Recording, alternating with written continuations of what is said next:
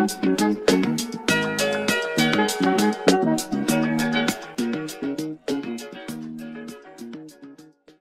everyone, welcome back to another video.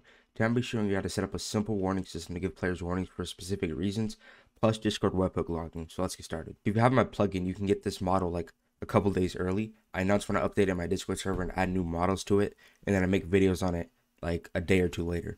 So I'm just going to insert this uh, from my plugin, or you can just go to my Discord server, verify, and go to the video models channel uh, if you don't want to buy the plugin. So once you insert it, you'll have this uh, warn menu model. You want to take the warn menu folder and put that in replicated storage. And then you want to take the report system manager and put that in server script service. Now, in this report system manager script, to set it up, all you need to do is put your URL and your admins, and then you also need to set up the proxy. So let me show you how to do that. So you want to go to your Discord server, and then you want to go to server settings, integrations, webhooks, and then copy your webhook URL, and then just put that right here.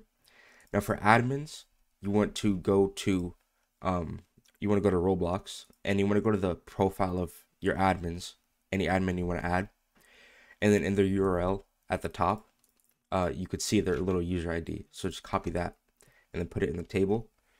And if you want to add more, just add a comma, space, and then add another one. You can do that for as many user IDs as you want. And then we have log warnings right here. You can set this to true if you want it to log, but if you don't, then you just set it to false. But we're gonna have it log for the tutorial. So now, uh, if you still don't have the Heroku proxy set up, you need to watch my video in the description on how to set it up. Um, but basically, you just have to put your URL and access key in the proxy module. So um, I'm gonna go ahead and put mine there real quick. Okay, so after you put your URL and access key in there and have the server script set up, then it should be all set up. So you want to go ahead and click play, test it, and um, I have four warnings already because I was testing it, but this only shows up if you have a warning. If you don't have any warnings, then this won't show up. So you want to go ahead and click warn. It'll show down here, and this menu will pop up.